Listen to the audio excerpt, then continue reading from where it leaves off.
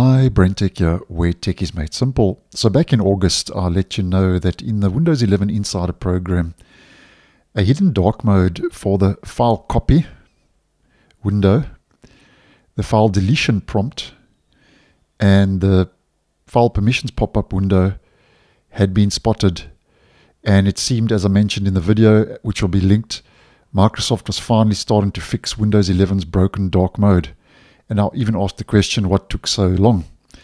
And as you may well know, dark mode in Windows 11 and even over on Windows 10 is not very consistent across the board. A lot of inconsistencies when you are in dark mode. Now, as mentioned previously, this change was spotted by Phantom of Earth over on X.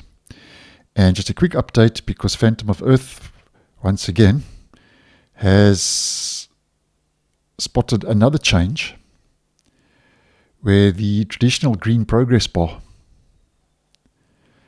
has been updated for a blue one in the latest Windows 11 dev and beta builds.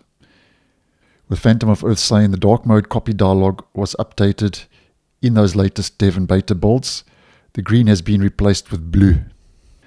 Now, this change seems to be more in line with the Windows 11's stock blue palette. But at this stage, it's not really complete. It's still early days.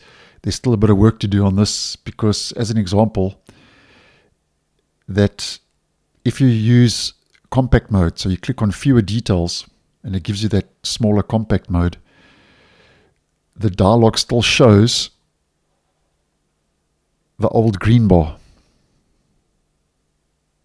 And it's also worth noting that the new progress bar, the color does not adapt to the system accent colors.